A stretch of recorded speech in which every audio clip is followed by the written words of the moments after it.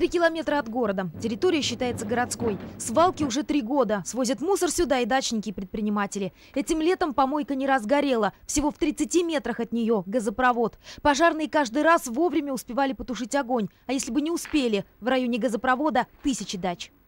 Контроля нет. Ни муниципального, ни федерального.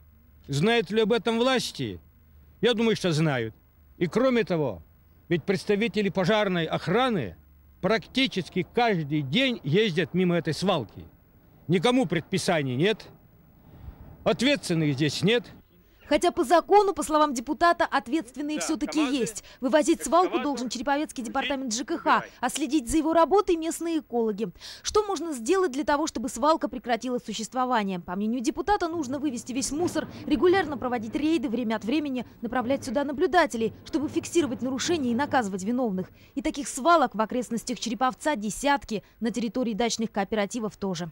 По закону нужно установить мусорные контейнеры. В трех кооперативах это сделано, в остальных нет. Причем сколько этих остальных никто даже не считал. По словам Николая Архипова, дачники предоставлены сами себе. Их никто не считает и никто не контролирует. Именно отсутствие контроля и наказания – одна из причин такого количества свалок в окрестностях города. Так считают и сами дачники.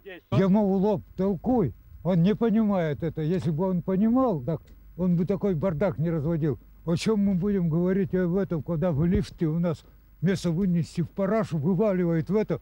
Ходим, привыкли жить, извините за выражение. Это Россия, русский дурак такой. Есть и еще причина. Вывоз мусора стоит дорого. Один кооператив должен выложить 150 тысяч рублей за сезон. На хозяйственные нужды дачники вынуждены сдавать примерно по 800 рублей. Для владельцев дач, пенсионеров это дорого. А там, где контейнеры все-таки поставили, сталкиваются с дополнительными проблемами. Вот все к нам и возят, банки завалят. Каждый день хоть вывози, да.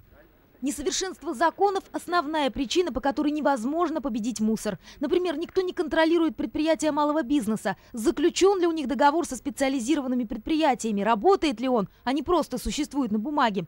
Сейчас за несанкционированный вывоз мусора штраф для физического лица составляет одну тысячу рублей, для юридического – 50. По мнению народных избранников, наказание нужно ужесточить раза в три. Такие поправки в административный кодекс будут обсуждаться в октябре на сессии Законодательного собрания области. И еще главное, чтобы не было равнодушных людей. Тогда, может быть, помойки перестанут быть визитной карточкой окрестностей российского города.